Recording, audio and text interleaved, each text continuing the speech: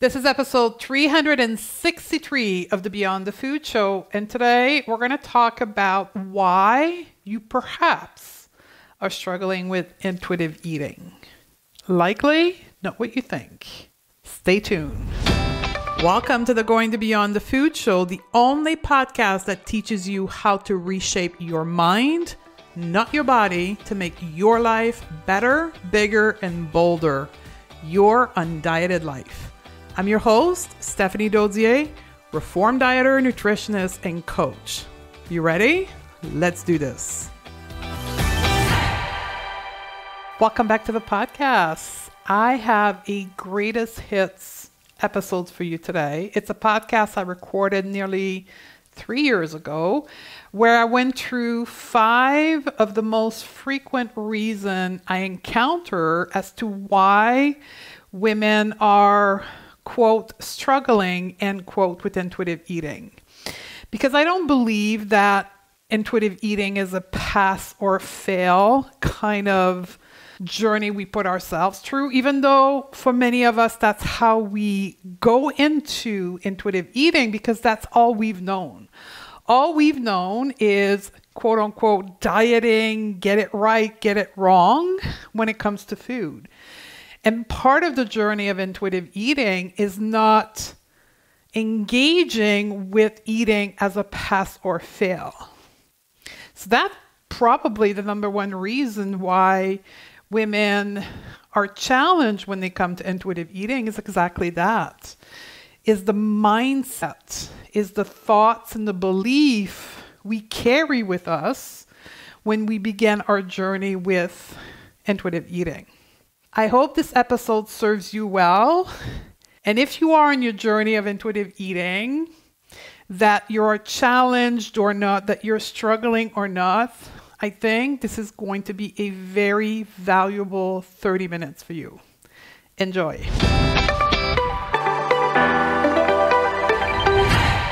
So, on to this week's topic, which is a link with the Academy. We're going to talk about why intuitive eating may not be working for you, or at least that's what you think that intuitive eating is not working for you. And honestly, the answer is within the academy because very often when we're struggling with intuitive eating is because the issue was never food. So we can spend years focusing on food when the issue is beyond the food. Yeah, pun intended. So if you're struggling with intuitive eating and you've read the book and you perhaps even done the workbook and you're struggling, it's likely because the issue was never the food in the first place. It was something else. Either the mindset, either your emotion, your ability to be present, body image. Therefore, that's why I'm saying that the answer is in the academy. But what I'm going to try to do today is give you some pointers for all of you who perhaps may not join the academy but still struggle with emotional eating. So, the first thing, if you take one thing away or if you stop listening to the podcast, here's what I want you to know. You can't fail at intuitive eating. Now, did you get it? You cannot fail at intuitive eating. So you may not think that it's not working it's likely because of reason number five, which is you're misunderstanding intuitive eating. You're thinking or approaching intuitive eating like a diet, a fail, or success system. You're not fully understanding and sitting into the fact that intuitive eating is the entire relationship to food from how you think about food, even before eating, to the moment where you eat, to the after experience of eating and how you process eating. Intuitive eating is this whole thing. So perhaps you're only fixated on the eating cues, right? Hunger, fullness, and satisfaction, and not really deep diving in the before and after eating experience. To heal your relationship to food, you have to heal the entire eating experience. Which leads me to then top reason number four as to why intuitive eating doesn't work for you, it's because you're not fully committed. You are holding on some fear or some hesitation as to looking beyond the eating experience, right? When we take someone through the intuitive eating process, one of the things that comes out really quickly is the fact that we need to dig deep. And many times when that digging deep becomes obvious, that's when people back out. They're like, ooh, don't want to look there. I don't want to look at this part of my life. I've been buried in it. I don't want to. It's like tucked away in a corner of my body, and I don't want to go there. So that then takes me to reason number three. We are engaging in intuitive eating like a diet. We are only focusing on food with a checklist of the 10 principle and we're memorizing the 10 principle and then we're expecting it to work like a math formula. Where in fact, intuitive eating is digging deep, looking at the reason why we've engaged with food in our body in a certain way and doing this whole unearthing of how we engage with our whole self. Because the way we relate to food is the way we relate to our whole being of ourselves, of how we even engage into the world. It's also a direct reflection of how we engage with food. Now, on to reason number two that I see the most often as to why people struggle with intuitive eating. They're not willing to put weight loss goal on the back burner. Now, here's a harsh truth for all of us 90% of the reason why we go on a first diet and we start the journey of dieting is because we are unhappy about our body. The root cause of all dieting effort is some discomfort or dissatisfaction about the body. So, the real, real, real, real, real way of healing our relationship to food is by first healing our relationship to our body. So, when I run program with intuitive eating or I work with someone one on one, the first thing I get out of the way is Are you willing to put your weight loss goal on the back burner? Because if you're not, then our work together is not going to be conclusive. It's not going to work because you are going to sabotage all your decision around food because you're still hoping to lose weight, maintain a weight loss, or change something about your body. The number one reason why I've experienced women that says that intuitive eating is not working for them is because they have fear. They're making choices around intuitive eating or body image from a place of fear, not love. That is the number one reason is we engage with our body, we engage with food, we engage with life from a place of fear, not love. Love is the only way to heal anything in our life. Love is the only way to make permanent changes in our life of any kind. So when we make decision to go for an example on unlearn intuitive eating from a place of fear because we think, you know, I've tried every diet in this world. Clearly, diet doesn't work, but I need to lose weight. So let me try intuitive eating, still being afraid of not losing weight or maintaining a weight loss from that place of fear around body image. Then again, it leads you to sabotage your journey of intuitive eating. So Make choices from a place of love.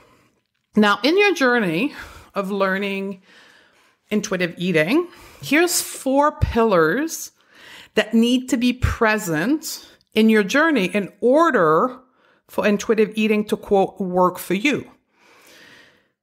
You must accept and see that your body has a wisdom in itself. That you have, just like all other human being, eating cues, hunger, fullness, and satisfaction. And those cues aren't broken. There's nothing broken about you or about your eating cue. You have that wisdom within you. Your body knows what's good for you, even if it meant being in a large body, gaining weight, not losing weight. Your body is wise and it's doing that for a reason. The second pillar is body trusts. You need to trust that wisdom. And then the third pillar is body respect. You need to respect your body, its wisdom, and you need to trust it. These are like working together. So you may not have this trust right now. You may not have this respect for your body, but you need to develop that trust and that respect through your journey of intuitive eating. And then the last piece, the last pillar is body neutrality. Switching from judgment to curiosity. Being curious about why you're behaving a certain way instead of judging those behavior. Being curious about what it means for you to trust your body, to respect your body. Being curious about this wisdom and letting yourself be guided by this wisdom inside of all of us. So, th- what I thought I would do for the rest of the podcast is actually answer 10 case study. I went on my Instagram account and I posted a question a couple days ago around why do you struggle with intuitive eating? Why is it not working for you? And I have picked 10 answer from that question and I'm going to quickly answer them. So to the ladies who provided some material for me, here we go. Number one, I am not eating enough. Good point. Why is that? Why is it that you're not eating enough and that is leading you to intuitive eating not working? What's behind that? Likely, it has to do with fat phobia. It has to do with a fear around gaining weight or not maintaining a weight loss or changing something around your body, or even perhaps healthier is always in a thinner body. Some type of belief. So ask yourself, why is it that you're not eating enough food? Case study number two. I have an eating disorder, anorexia facile, and that's why intuitive eating doesn't work for me. Well, here's what I want to say to you. If you have a diagnosed eating disorder, you need to work one on one with an expert, particularly the expert or the healthcare professional that has diagnosed you. When you have an eating disorder and you work one on one with someone, you will not start with intuitive eating. Intuitive eating is not the starting point of a treatment of eating disorder. It is along the way, once we've given you tools to address the trauma, then we can begin intuitive eating. So go get support 101 if you are diagnosed with an eating disorder. Do not try to treat yourself with intuitive eating. Case study number three I would eat chips and pasta nonstop. That's why intuitive eating doesn't work for me. So, one question for you. So what? What would happen if you ate just chips and pasta nonstop? What's behind that? What's the fear behind this statement? Likely, it has something to do with weight again but I'll gain weight, but I'll have a gluten attack, but I'll have diabetes. I'll catch diabetes. I get that a lot. Like I'll catch diabetes because my, my blood sugar will go up. Can you see that all of that is fear?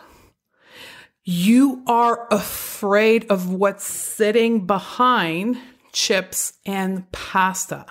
So here's a quick tip for all of you. Something that we teach within the self coaching model, which is start asking yourself powerful question.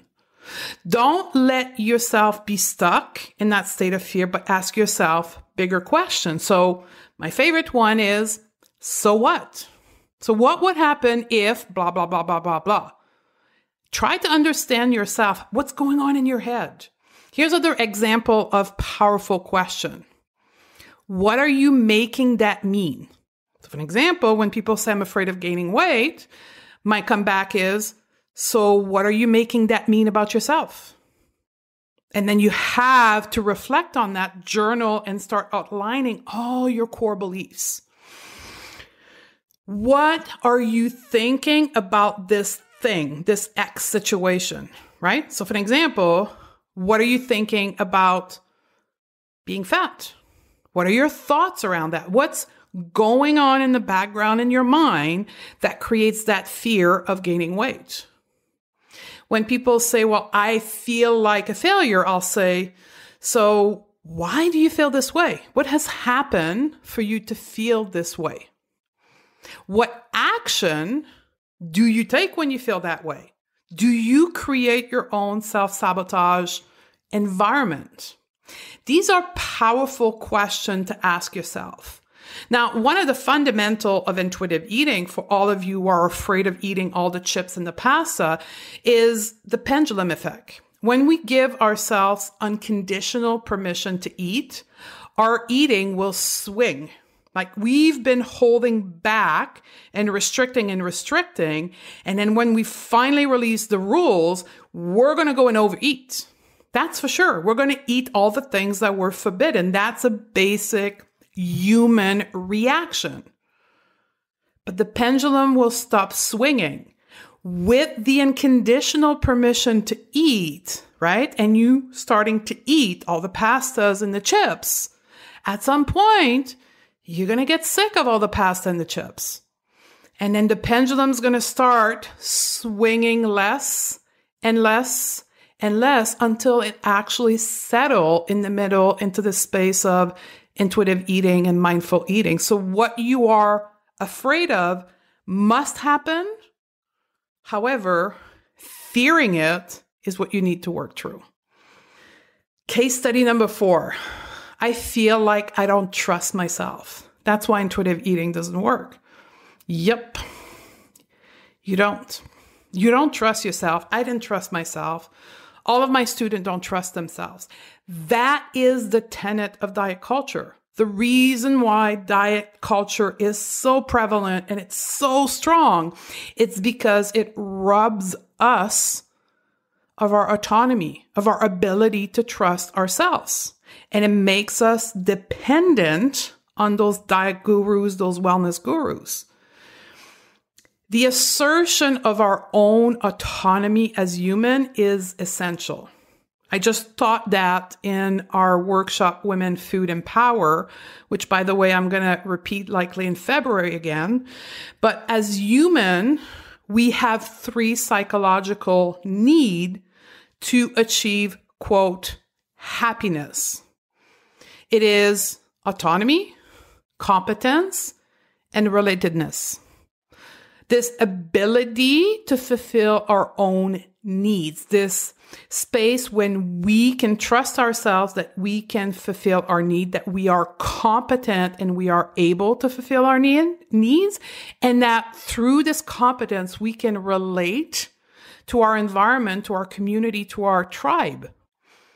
Dieting takes all of that away. Dieting says, you don't know how to eat, you're fat, you can be part of the cool kids in the community because of the size of your body. So we're going to take all your autonomy around food away and we're going to control it all for you. That's what diet culture says.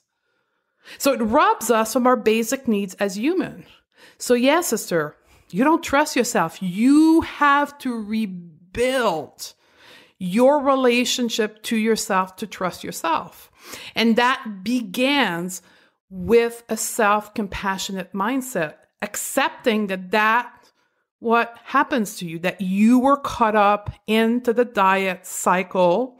You were affected and impacted by diet culture. This is where you are today. And now you need to go on the healing journey of rebuilding that relationship of trust and respect towards your body wisdom. Next case study. Intuitive eating doesn't work for me because I can't separate craving from a genuine need from my body. Here's something very strong for you. What if every craving that comes out of your body is genuine? Even what you qualify as your emotional craving. What we have to understand is that whatever comes out of our body, whatever is expressed from this wisdom, is a need of some format. We may not be craving the thing that's going to fulfill our need, but our body is telling us we need X, Y, Z. We need, we need, we need something. I want you to start seeing your emotional craving has a gift. What is hiding behind it? Ask powerful question. What do I need now? When you crave and you're not physically hungry, what do I need? What am I feeling right now? That's what we teach when we teach intuitive eating, right? What am I feeling? What do I need? Ask yourself those two questions consistently. Now, one of the base principle that is missing likely in your education here is that our emotion as human are the radar to guide our life. The way we feel is the guiding, shining light to make decision in our life. When we feel good, when we feel good internally, we want more. We should want more of this thing that makes us feel good. And the thing that doesn't make us feel good, that create anxiety, that create fear, we shouldn't invite more in our life. So let's reframe our emotion. This is emotional intelligence. Let's reframe our emotion as a radar, as a scanner to make decision in our life. The next one, the next case study is intuitive eating doesn't work for me because I don't know where to start. Well, hello, you. You're new to intuitive eating. We've got a ton of resources for you. Here's what I want you to do. If you're new here, start at podcast 199 and move your way up. We've addressed a lot of intuitive eating beginner's question, podcast 199 up to the recent one here. The other thing, you can go grab the intuitive eating guide on my website, stephaniedodier.com slash start. And then grab the guide. And then you're going to have over 30 emails sent to you every three days, educating you on all the basic of intuitive eating, body image, diet culture, emotional intelligence, mindset, all that stuff. Every three days, I'm going to be popping in with a free email to get you educated. So if you're new, get some education. If you're like, I got some education, but I don't know where to start, go get a structure, right? You can grab intuitive eating workbook from my mentor, Evelyn Tribole, and she's going to walk you through the 10 principle with exercise and a logical approach. You can get the intuitive eating project, which is my program where I coach you through a structured approach to intuitive eating, or you can join us in the academy. Case study number five Knowing I have true allergy to certain food, but feeling triggered and restricted by not eating them. So this is a dicey one. Um, let's define true allergy first. True allergy are tested and diagnosed by a medical expert, very often a specialist, an allergy specialist. And it's likely because you've had several severe reaction to, in our case, the food. And typically those severe reactions include a lot of pain. So in the cases that I've worked with people who've had diagnosed allergy, for an example, seafood allergy or even celiac disease, which is uh, which is some kind of allergy to the gluten molecule, they don't want to eat the food that caused them so much pain because they do not want more pain in their life and they do do not have a desire to die, right? So I want you to think about why you're desiring to cause yourself such severe pain and even threatening your life. Like this is a big, profound question that you need to unpack. You need to unpack the story behind that, the thoughts behind that, right? This whole mindset piece behind this and the whole relationship to your body of trust and respect of neutrality. Now, very often when I start with that, people will say, well, what's not really an allergy that I have? It's an intolerance. Ah, big difference.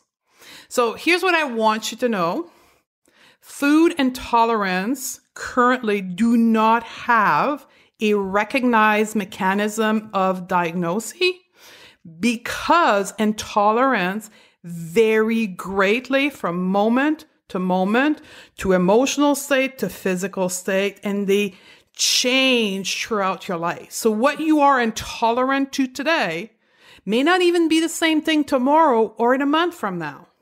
So at this point in time, there's no valid mechanism of diagnose food intolerance because of that. I have a friend who is a nutritionist and she works in the field of autoimmune condition and she has tested via her patients every single food intolerance on the market in the US right now. And every one of them has come back with different diagnoses. Every one of them. So she stopped referring people out to food intolerance because it doesn't work. So, to that, know that if it's a food intolerance, it could change greatly, right? And again, there is a principle inside of intuitive eating that talks about gentle nutrition and health, but it is the last one. What we first need to do is to give ourselves unconditional permission to eat first. And understand what are our beliefs behind food. So in the case of intolerance or allergy, and you know you're not going to feel good after, ask yourself, why is it that I want to cause myself pain? Start with that question. The next case study overeating things that aren't filling, parenthesis, nutritious, because I'm still at a place of binging. And that's why intuitive eating doesn't work for me. There's a lot in that question. Here's where I go first as an expert in this field the parenthesis nutritious. So for you and many women, there is still deep core beliefs about good and bad food. If that's you, go back to podcast 199 and know that is a learned skill, a learned behavior, a learned side effect of dieting, of labeling food as good or bad, which leads you to believe that you should make, quote, nutritious choices by eating these food. And that space of binging is only caused by the restriction you put in the first place on the quote, bad food. So here's what I would invite you to do. Approach the binging, quote, in a space of curiosity. Why am I binging on, quote, these foods? Why do I believe that I need to eat nutritious food over other food? Remove completely the judgment and approach that with curiosity, with self compassion, and try to understand what goes on in your mind. And that will be the solution for you. And expect the pendulum, as I explained earlier. The next one what to eat? Interrogation mark. I was raised on a microwave food diet. So only eat with cues is impossible for me because I don't know what to eat. And that's why intuitive eating doesn't work for me. So let me ask you this. Did you go to the grocery store, stood in the grocery store, in the first department where you enter, which is typically, I don't know, fruit and vegetables and dairy, and ask yourself, what do I want to eat? what do I want to try? Right? Another thing that I highly recommend to people is 80 20. 80% of the food when you begin your intuitive eating journey is perhaps recipes you've had in the past, and 20% is new stuff. Go out to the grocery store and buy one fruit, one vegetables, one dairy product you've never tried before, put it in your cart, purchase it, go on Mr. Google, try to find a way of cook it, prepare it, and then have it in the intuitive eating format of eating, which is very mindfully. Ask yourself, do I like it? Does it make me feel pleasurable? Does it make me feel satisfied? Am I full? Do I enjoy it? And then either keep it on your repertoire or discard it. Do the same thing with the recipes. If you have a family and you're feeding people, put 80% of your recipe on repeat and every week bring in a new recipe, a brand new one. Now, this is where the whole discussion about cookbook comes in. And this is a real challenge to find cookbook that are not diet culture embedded or wellness diet embedded. I get it. So here's two cookbook that I tend to recommend. Number one is the Pescatarian Cookbook from registered dietitian Cara Hard Street. And I have a real problem saying her name. Hardb Street, H A R D B S T R E E T. She's an intuitive eating dietitian who wrote a cookbook. The other one is a cookbook called Enjoying Food Peace Intuitive Eating Cookbook. It's on Amazon. It's only a digital version. So, this is a call out to all of you foodies out there and perhaps even food blogger there is a need for intuitive eating cookbook. But in the meantime, go literally stand in the middle of the grocery store and ask yourself, what is it do I want to eat? 80% buy the things that you know you like, and 20% introduce something new in each food category and see what happens. The next one, being able to figure out what I want to eat. I'm still always trying to make healthy choices. And that's why intuitive eating doesn't work for me. So there's a missing step in your process there somewhere, which is principle number one unconditional permission to eat. And I know this is a hard one, but I would recommend that you go back and really investigate your core beliefs around quote healthy and unhealthy food.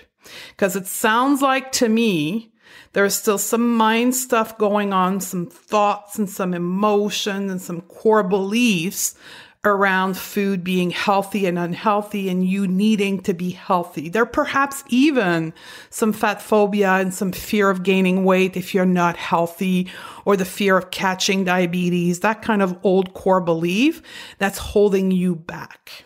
And definitely there's some fear behind this one. Second to last one. Seeing diet info and before and after picture on my Instagram feed. Girl, I get it. And we are in January right now. I did this poll in January. So this is the heaviest month of diet culture and it's going to shake you to your core if you're still hesitant.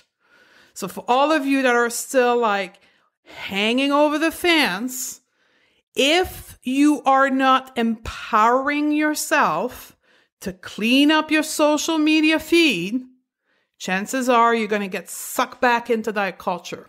The marketing machine behind diet culture, ladies, is unbelievably powerful. So do me a favor, sister. Empower the heck out of yourself and unfollow, unfollow, unfollow, unfollow, unfollow. Even if it is on Facebook and if it is family member, you don't need to unfriend them. You need to unfollow them.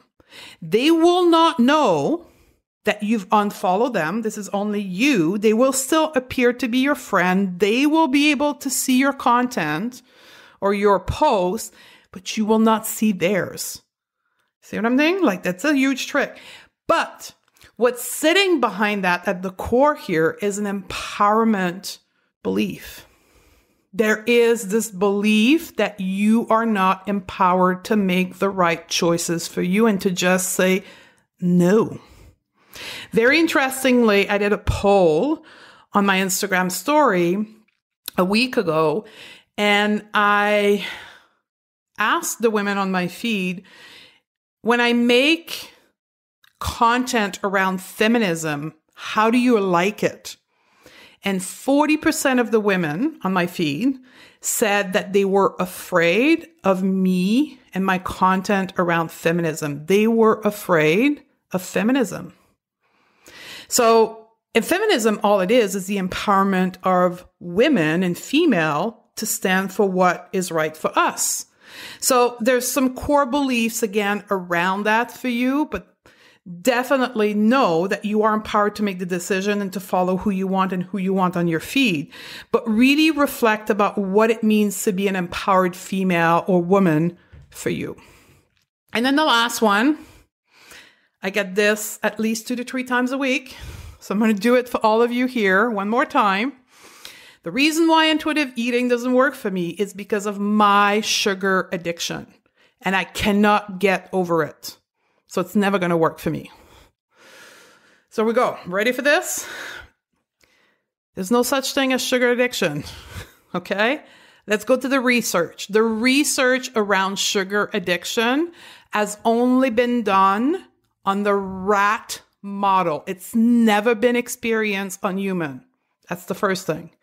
Second thing, when the researcher exposed the rat to sugary water in that case, they only found the addiction behavior when the sugary substance was restricted and then re-exposed, restricted, re-exposed, restricted, re-exposed. Then the rat displayed addictive behavior. So what does that mean? That mean that when you restrict sugar or you hold belief around sugar being bad, you are restricting sugar in your head or even physically, you will display addictive behavior. And we know that not only with sugar, but with all the food. You have to give yourself unconditional permission to eat. Otherwise, you will have the restrict binge cycle all the time. So it's not because of sugar. It's because of your attitude towards the substance, in this case, sugar, or it could be chips, it could be chocolate. So, there's a lot of core beliefs around this. There's a lot of mindset works that needs to be done around this. There's perhaps even a lot of research to prove to yourself as to why sugar is not addictive. There's a great piece of content on my website. If you go to my website and in the search box where there's the little lens there, you put in sugar addiction, you will find an actual video that I did with a quote sugar addiction specialist who did a complete assessment on me. And I did it on camera with her and all of you who were watching at the time. So it's all film. A ton of questions we went through. And then guess what? The going to beyond the food method proved there was no addiction in me to sugar. There was behavior in my past that demonstrated an addictive behavior to sugar, but with the work that I've done, the going to beyond the food method, I am now sitting in this place where there's absolutely no trace left of quote addiction to sugar in me. And she will say, when you watch the video, she's never seen that before. For sure, she's never studied intuitive eater, so she's never seen that before, but the proof is in the pudding when you release the rules around food, the addictive behavior goes away. So there you go, ladies. This is my advice to you combined with real life situation as to why you may be struggling. If you have more, please reach out to me on social media or email us. I would love to help you further. And as always, if this show helped you, please leave us a review. It does a tremendous amount of support to the podcast and help us rank higher, which by the way, now we're consistently because of all of you in the top 20 of the nutrition podcasts. Stay tuned for the next podcast. In the meantime, I love you and I look forward to hang out with you on the next episode. If you are loving what you're learning on the podcast, you have to come and check out Undiet Your Life. This is where we get to hang out together, where you get the individual help applying the concept thought on the podcast while learning new coaching tool that will make your life even more amazing.